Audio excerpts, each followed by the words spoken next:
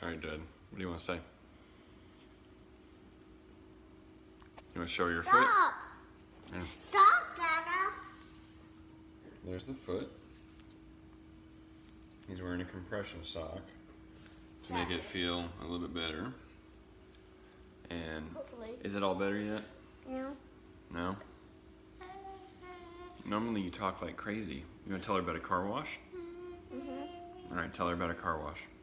My car wash is like this busted one now, but my car wash is just still working with my water thing and the water gun shoots water in my car wash. So yeah, that is pretty cool, huh?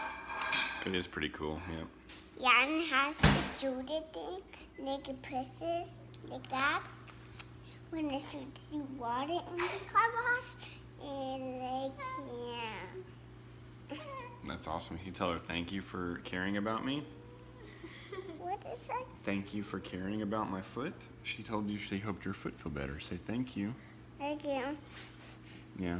So, can you run? Let me see if you can turn around. How quick can you walk?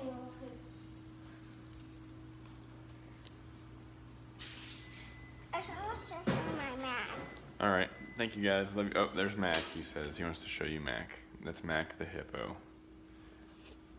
All right. Say bye bye.